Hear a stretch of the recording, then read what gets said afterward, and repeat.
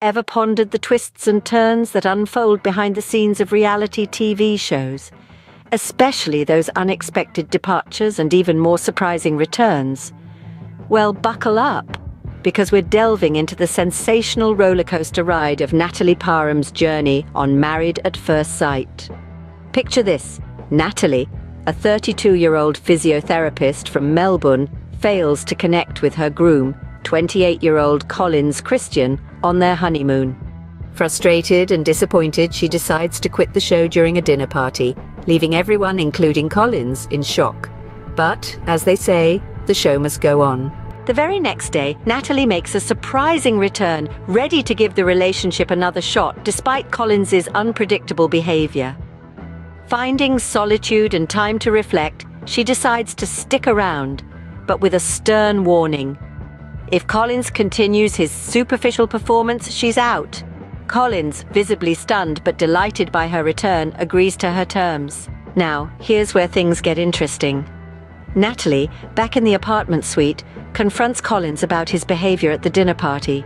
She expresses her disappointment, how she had spiraled without his support. She lays down some ground rules, insisting on taking things day by day, even opting to stay in a separate apartment to maintain her personal space. But when Natalie asks Collins if he's ready to give their relationship another shot, he appears hesitant. After a bit of back and forth, they both agree to try again, though their certainty seems shaky at best. Flashback to Monday night. Natalie calls it quits on her marriage to Collins at the first dinner party. The announcement, made halfway through the night, stirs a whirlwind of reactions among the cast. Natalie, far from her usual bubbly self, delivers a heartfelt goodbye, visibly distressed, signaling the end of her journey on the show, or so it seemed. Collins, echoing her sentiment, acknowledges the difficulty of their decision. Behind the scenes, he breaks down, overwhelmed by the sudden end of his reality TV journey. The reactions from their fellow contestants are mixed, with some expressing skepticism over Collins's display of emotion.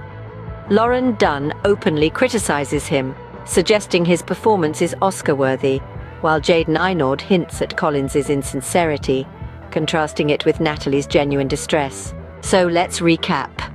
Natalie's unexpected departure followed by her surprising return the confrontation with Collins and the mixed reactions from the other participants all make for a gripping reality TV narrative.